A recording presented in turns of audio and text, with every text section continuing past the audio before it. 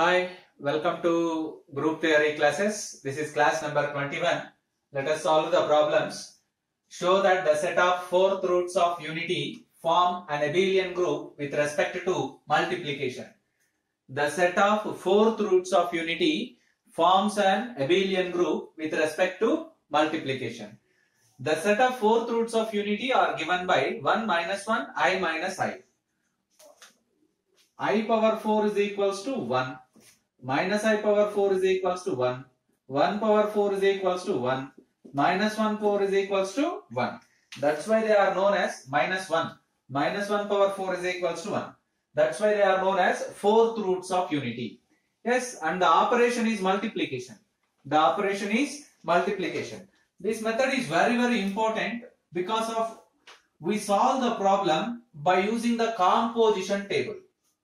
We solve the problem by using composition table.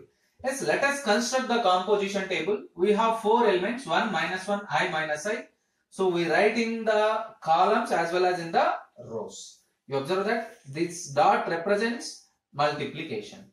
1 into 1, 1. 1 into minus 1, minus 1.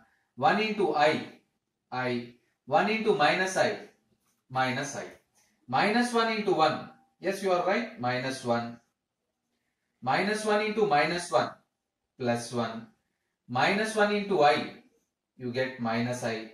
Minus 1 into minus i.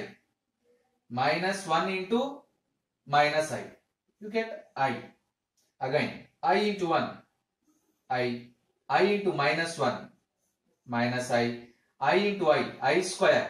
Minus 1 i into i square minus 1 already we have one more minus you get 1 and then minus i into 1 minus i. Minus i into minus 1 you get i. Minus i into i.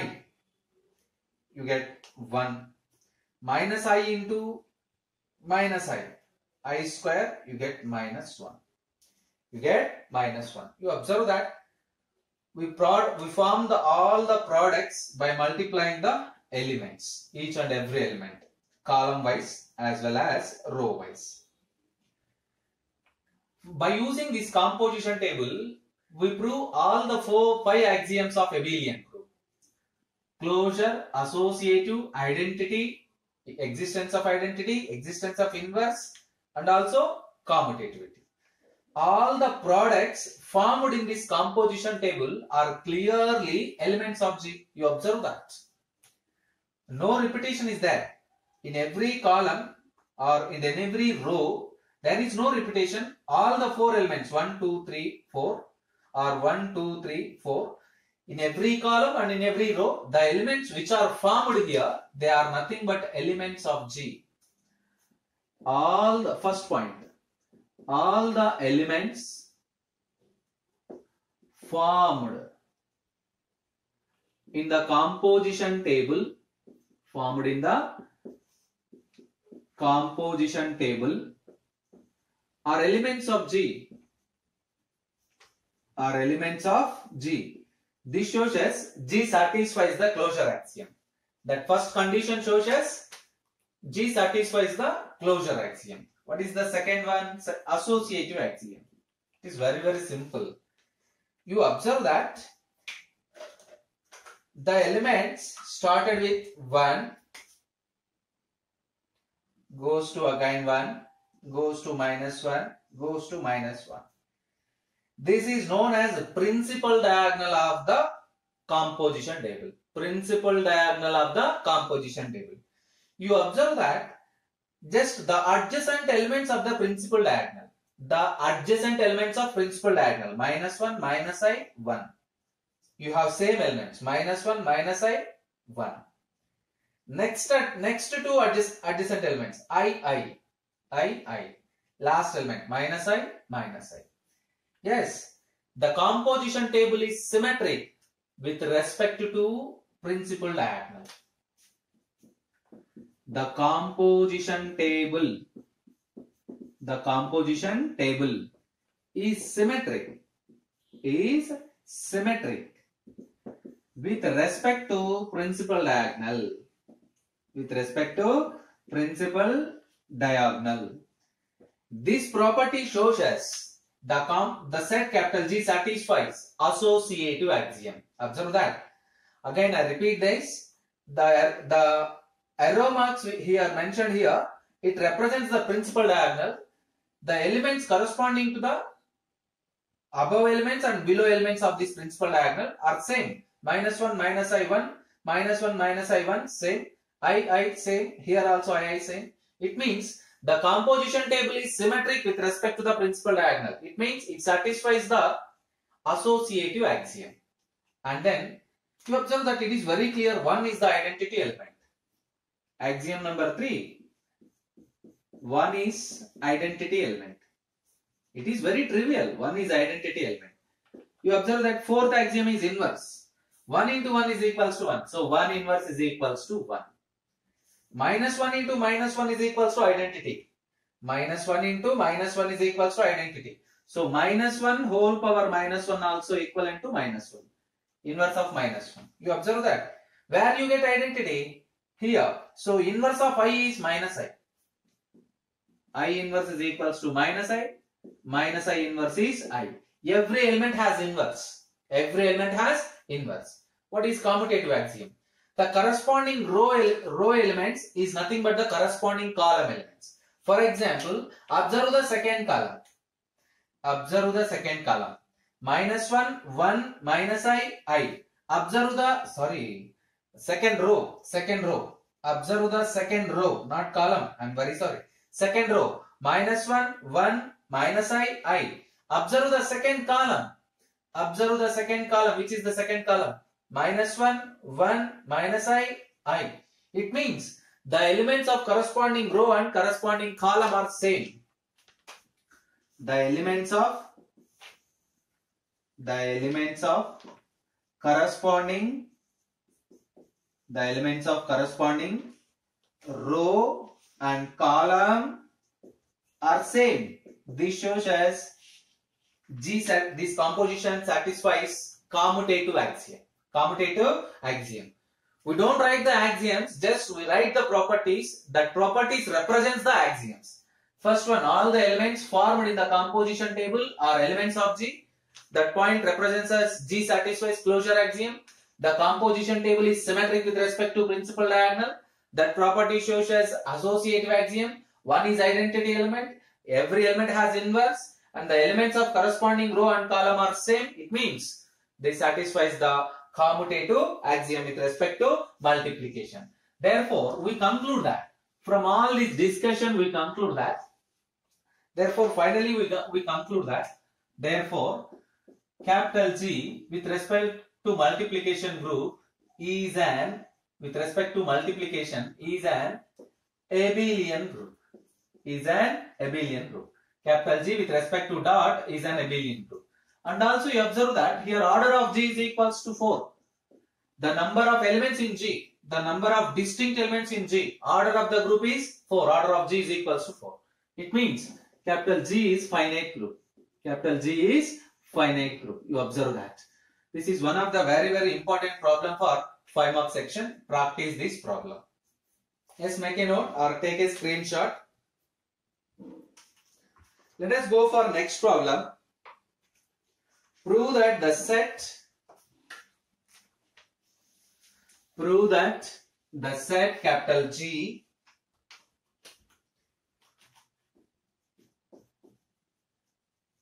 prove that the set capital G is equals to 1, 2, 3, 4, 5, 6. 1, 2, 3, 4, 5, 6 is a finite abelian group is a finite abelian group is a finite abelian group with respect to multiplication modulo 7 with respect to multiplication modulo 7 again very very important problem. You observe that. The operation is very very important here. The operation is very very important here. Not fourth roots of unity. The set capital G is given by capital G is equals to and we write the composition table also we, we rewrite the composition table but axioms are same. Observe that. Given that, given that capital G is equals to 1, 2, 3, 4, 5, 6. Up to 6 only there are 6 elements. Given that capital G is equals to 1, 2, 3, 4, 5, 6 and multiplication modulo 7 is the operation. Multiplication modulo 7 is the operation. Construct the composition table. Composition table. Yes, operation is multiplication modulo 7. Let us write the elements. 1, 2, 3, 4, 5, 6. 1, 2, 3, 4, 5, 6.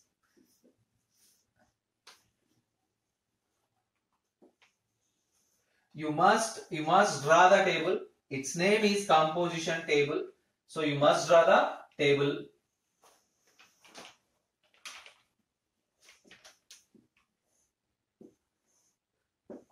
What is multiplication modulo 7? We know that the multiplication modulo 7 a into b mod 7 is equals to r means small r is the remainder small r is the remainder when ab is divided by 7 when ab is divided by 7 you observe that. Small r is the remainder when ab is divided by 7 that is the operation multiplication modulo 7. In view of this operation, we solve this problem. Observe that. Again 1 into 1, you get 1. 1 into 2, 2, 3, 4, 5, 6. 2 into 1, 2. 2 into 2, 4. 2 into 3, 6. 2 into 4, 8. You must remember that. 2 into 8, 2 into 4, 8. But the answer is 1 because 1 is the remainder when 8 is divided by 7. 1 is the remainder when 8 is divided by the 7. 2 5s are 10. 2 5s are 10. But multiplication modulo 7. If you divide the 10 with 7 then the remainder is 3. 2 into 6 12. 2 into 6 12. Multiplication modulo 7. If you divide the 12 with 7, the remainder is 5. Observe that. Let us start with 3. 3 ones, 3. 3 into 1, product 3 into 1, 3. 3 into 2, 6. 3 into 3, 9. 3 into 3, 9. 9 means the remainder is 2. 3 into 4, 12. Remainder is 5. 3 into 5, 15. Remainder is 1. 3 into 5 multiplication modulo 7 3 5s are 15 if you divide the 15 with 7 the remainder is 1 so 3 6 are 18 remainder is 4 4 1 is 4 4 2s are 8 1 4 3s are 12 5 4 4s are 16 2 4 5s are 20 4 5s are 20 6 4 6 are 24 3 4 into 6 remainder 7 I mean modulo 7 6 4s are 24 if you divide the 24 with 7 7 3s are 21 the remainder is 3 the remainder is 3 observe that. 5 1 is 5 5 2s are 10 remainder is 3 5 3s are 15 remainder is 1 5 4s are 20, remainder is 6. 5 5s are 25, remainder is 5 5s are 5 4s are 20, remainder is 16. 5 3s are 15, remainder is 1. 5 5s are 25. 5 5s are 25. 7 3s are 21, remainder is 4. 5 6 are 30. 5 6 are 30. If you divide the 30 with 7, 7 4s are 28. remainder is 2. You observe that 2. 6, 6 2s are 12. 6 2s are 12. The remainder is 5. 6 3s are 18. Remainder is 4. 6 4s are 24. Remainder is 3. 6 5s are 30. Remainder is 2. 6 6 are 36. Remainder is 1. Again, all the points, all the points are same as previous problem. You observe that. Here all the elements which are formed in this table are elements of G. It is very clear it satisfies the closure axiom. And the composition table is symmetric with respect to principal diagonal. Is it right or wrong? You verify that. Let us start with one. 4, 2, 2, 4, 1. This arrow marks represents the principal diagonal. Now observe the above elements of principal diagonal 2, 6, 5, 6, 2. 2, 6, 5, 6, 2. It means the table is symmetric with respect to the principal diagonal. You observe the next element 3, double 1, 3, again 3, 1, 1, 3. You observe that 4, 3, 4, again 4, 3, 4, 5, 5. You observe that 5, 5. Last element is 6, 6. It means the composition table is symmetric with respect to principal diagonal. It means it satisfies the associative axiom. It is very clear. The inverse axiom, one is identity element here also. Here also one is the identity element. Let us observe the inverse elements here. Inverse elements here. 1 inverse is 1 always. 1 inverse is 1. What is 2 inverse? You, to find the 2 inverse, observe 1 where you get 1. 2 4s are 8. The remainder is 1. 2 inverse is 4. 4 inverse is 2. 2 inverse is equals to 4. What is 3 inverse? Where you get 1? 5. So 3 inverse is equals to 5. Next, 4 inverse is 2. Next, 5 inverse is 3. What is 6 inverse itself? You observe that. Where you get 1? 6 6 are 1. 6 into 6, 36. But you divide with 7. 7 5s are 35. You get 1. So every element has inverse. The elements corresponding row and corresponding column are same. Let us verify the third row. Let us verify the third row. 3, 6, 2, 5, 1, 4. 3, 6, 2, 5, 1, 4. So corresponding elements are same. So this satisfies, this composition table satisfies all the axioms. Therefore, you conclude that finally capital G with respect to multiplication modulo 7 is an abelian group. Is an abelian group. And its order is, its order is equals to 7 because it consists only 6 elements. Order is equals to 6. Very clearly it is a finite abelian group. Observe that. Make a note. And you solve two more problems by using the similar technique and similar method. Solve the following problems. The first one is prove that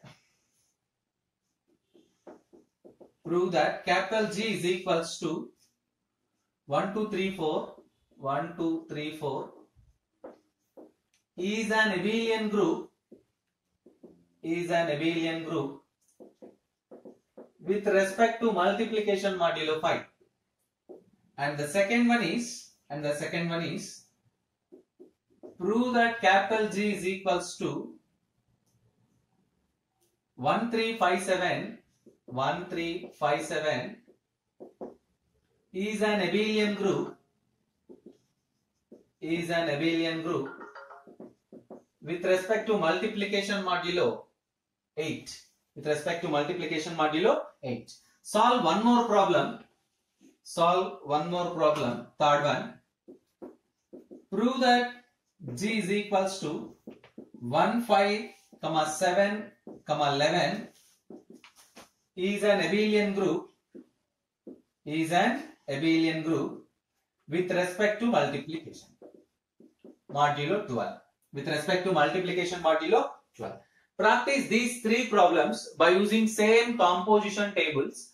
Multiplication modulo 5 multiplication modulo 8 multiplication modulo 12 you have to write the reminders in the table only. Have to write the reminders on, only. So practice these three problems, you become very familiar. This method is